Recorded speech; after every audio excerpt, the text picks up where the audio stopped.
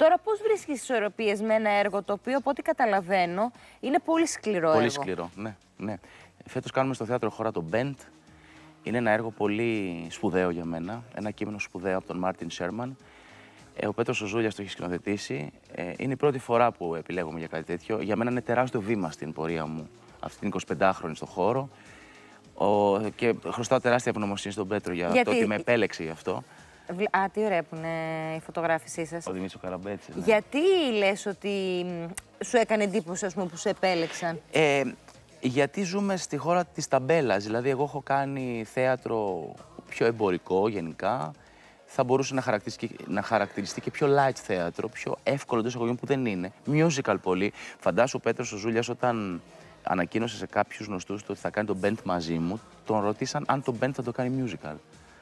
Οπότε Φαντάσου. έχω στιγματιστεί ε, σε αυτό. Και πραγματικά μου έκανε εντύπωση που μου ζήτησε να κάνουμε αυτό και τον ευχαριστώ γιατί είναι κάτι πολύ διαφορετικό Και είναι μια ευκαιρία να δείξεις ε, και το δικό σου ταλέντο και σε κάτι άλλο. σε κάτι διαφορετικό Όχι ότι είναι τελείως. σήμαντο ότι είναι εύκολο να κάνεις musical. Καθόλου Απλώς εύκολο. Θα ήθελες να κάνεις και κάτι διαφορετικό. Ακριβώς. Απλά αυτό το κείμενο ήθελε πολύ σκάψιμο. Όταν σου λέω πολύ, ήταν απίθμενο αυτό το κείμενο. Ο Πέτρος έσκαψε πολύ. Φαντάσου το πήγαμε ψηφίδα-ψηφίδα. Τι σημαίνει αυτό; Λέξη-λέξη. Πρόταση-πρόταση. Μ, έγινε τέτοια Εννοείς στις δουλειά πρόβες. στις πρόβες. Ε, σχεδόν δύο μήνες προβών δεν είχα ζωή, φαντάσου. Ήμουν από το πρωί μέχρι το βράδυ με ένα κείμενο να διαβάζω στο σπίτι μου, με την τετράωρη, πεντάωρη πρόβα καθημερινά και μ, με μια, θα το έλεγα και ασκητικό σχεδόν αυτό που συνέβη, ε, γιατί έπρεπε να βουτήξω πολύ βαθιά μέσα σε αυτό, ε, επειδή το πιστεύω πάρα πολύ. Και επειδή δεν το έχω ξανακάνει, έπρεπε να φτάσω τον εαυτό μου σε όρια για να το κάνω.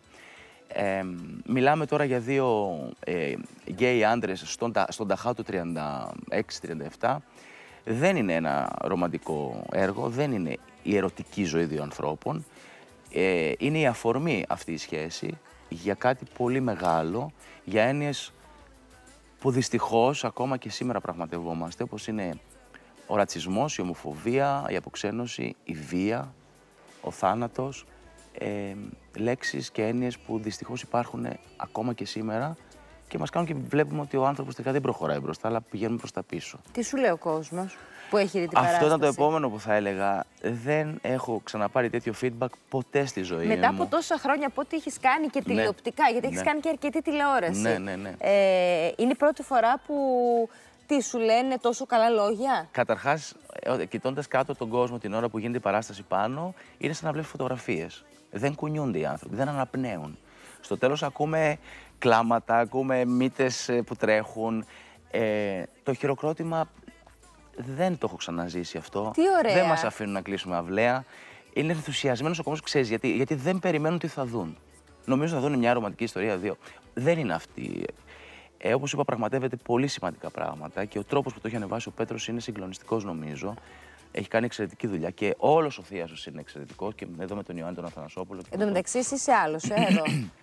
είσαι πολύ Ναι. διαφορετικός. Ναι, ναι, ναι, ναι. Να ο Θίασος. Και ο Ιωάννης Ε, είναι και ο Ιωάννης εκπληκτικός. είναι Το γνωρίζω εκπληκτικός. Από τις άγριες μέλισσες, Ναι. γιατί τότε Ναι. λόγω αντένα ήμασταν και πολύ κοντά. Είναι, είναι και ένα εξαιρετικό και πολύ γλυκό παιδί. Εξαιρετικό παιδί, εξαιρετικό, το οποίο πολλά και αυτός υποσχόμενος. ήθελε να κάνει κάτι διαφορετικό. Ναι, ναι, ναι, ναι, ναι. Και το λέει με μεγάλη χαρά ότι συμμετέχει σε αυτήν την παράσταση.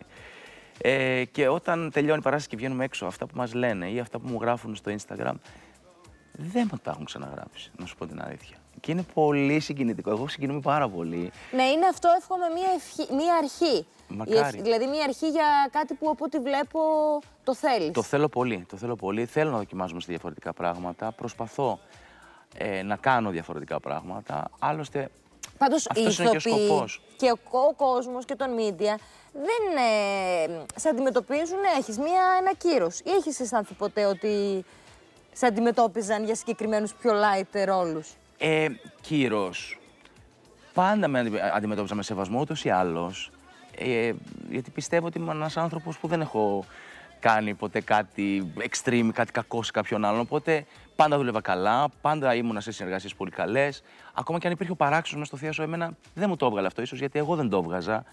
Οπότε πάντα με αντιμετώπισα με κύρος, απλά αυτό που βλέπουν φέτος από μένα είναι κάτι που δεν περιμένουν να δουν. Και με χαροποιεί ιδιαίτερα αυτό.